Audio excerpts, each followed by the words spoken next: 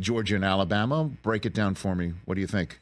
Uh, so you obviously have this is Kalen DeBoer, new coach at Alabama, his first you know big big game. Like we had him a couple weeks ago. They played in Madison. They blew out the Badgers. What I'm fascinated with last year, so neither team, by the way, is ranked number one right now.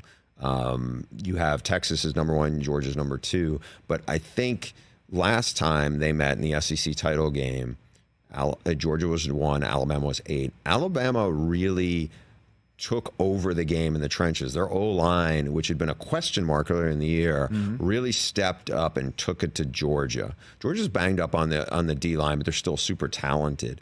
The last time they played, which is you know they had a bye week last week, so the two weeks ago they played at Kentucky. And Kentucky ran the ball. I don't want to say down their throats, but it was like 180 rushing yards. It's not a great Kentucky team. They gave them all they could handle.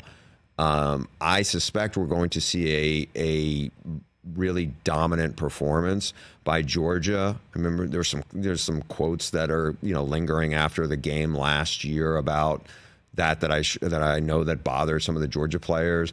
What I'm really excited to see is is how Georgia responds, but also this is the first chance for the country to really get a good look at Jalen Milroe in Kalen DeBoer's system. They have really dynamic speed outside at receiver.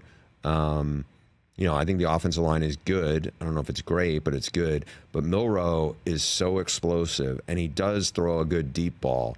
And again, uh, like I'm interested to see what Kalen has up his sleeve. He's a really good offense. He's just a great coach. Uh, I'm not saying that I think they're going to win going away, but it's that challenge of, you know, Georgia looked terrific against Clemson in the opener, and they did not look very good the last time out. But again, this game was looming.